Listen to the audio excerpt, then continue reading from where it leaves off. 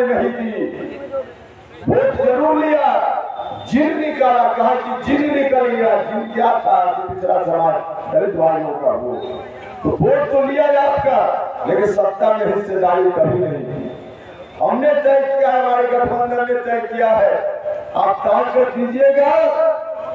सरकार हमारी बनेगी तो चार मुख्यमंत्री बनाने का काम करेंगे।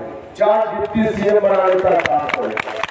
एक डिप्टी सीएम दलित परिवार का होगा, एक डिप्टी सीएम अति पिछड़ा समाज का होगा, एक डिप्टी सीएम अल्पसंख्यक समाज का होगा, और एक जो गरीब लोग हैं सवर्ण जात में उनके साथ भी मेहमानों ने न्याय नहीं किया है। तो एक डिप्टी सीएम अभी जात के भी चार डिप्टी सीएम हम बनाएँगे।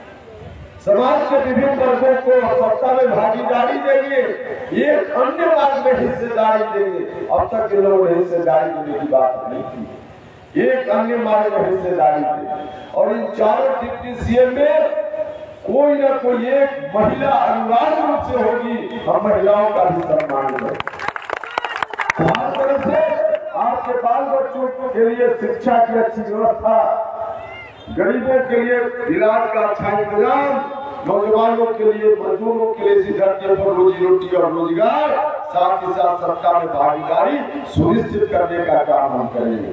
इसलिए आप सब लोगों से आग्रह है इस बार इधर उधर मत देखिए। एक बार से पाँच साल के लिए उपेंद्र कुशवाहा को मौका देने की कृपा भाइयों बहनों, यहाँ से जो हमारे उम्मीदवार हैं। जिस पेशा में है जहाँ भी है सामाजिक संगठनों के साथ मिलकर इन्होंने हमेशा आपकी खिदमत की है, आपकी सेवा करने का काम किया है। इनको ताकत दीजिएगा और ज़्यादा से ज़्यादा सेवा करेंगे। ताकत दीजिएगा तो अकेले इनको ताकत नहीं मिलेगी। मायावती जी को भी ताकत मिलेगी। ओवैसी साहब को भी ताकत मिलेगी, ओम प्रकाश राजभर और चौहान साहब को ताकत मिलेगी। और आपका छोटा एक मार्ग में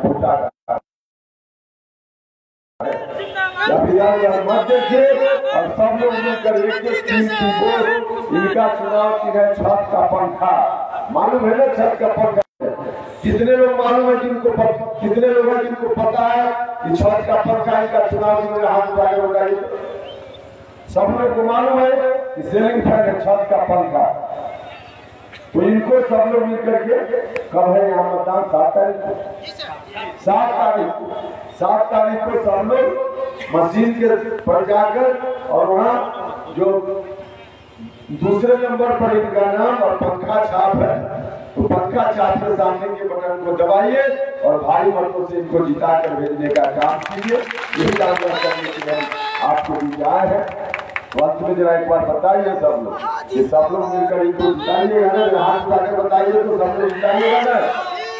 चलिए, इनको जिताना है तो अगर आप कहिए आप हिदायत हो तो जीत का माला इनको हम पहना दे। हाथ उठा के बताइए सब। तो चलिए, जीत का माला पहनाते हैं, उसके पहले हम एक नारा लगाएँगे। आपसे आग्रह होगा कि सहयोग कीजिएगा। आप लोग बोलिए इसमें ठीक जब मास्क खोले हुए हैं इसलिए नज़दीक वाले मत बोलिए वहाँ से बोलिए हम बोलेंगे अब की बार आप करिएगा शिक्षा वाली सरकार। अब की बार शिक्षा वाली सरकार। अब की बार शिक्षा वाली सरकार। अगर चाहिए इसी धरती पर रोजी रोटी और रोज़गार तो अब की बार शिक्षा वाली सरकार। अगर चाहिए इसी धरती पर रोजी रोटी और रोज़गार तो अब की बार O